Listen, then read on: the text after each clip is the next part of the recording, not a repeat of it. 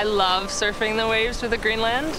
Part of it is because it's a different technique, so it allows me to get my paddle in a little bit deeper and closer.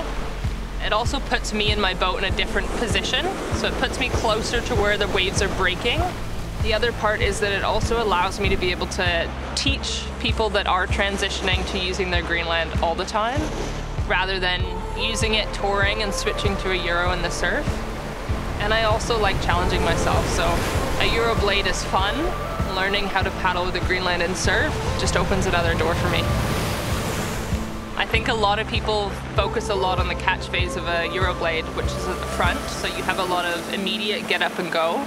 The Greenland, the most power you're getting is during the stroke, so you actually don't feel that same start to go, but you have more momentum carrying you forward with less impact.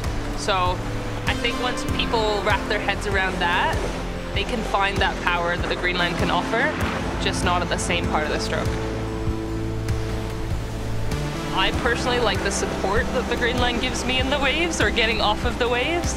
I know that rather than having this much blade, I have this much blade. So it gives me that extra sense of security. If you're used to paddling with a Euroblade, the Greenland is the next step forward. You know, it gives you a lot of versatility. It teaches you different techniques to paddling.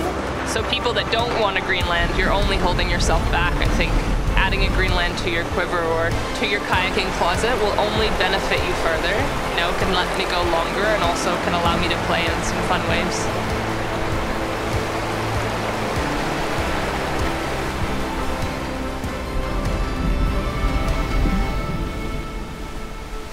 My name is Amber Champion and I'm a professional kayaker and I kayak for fun.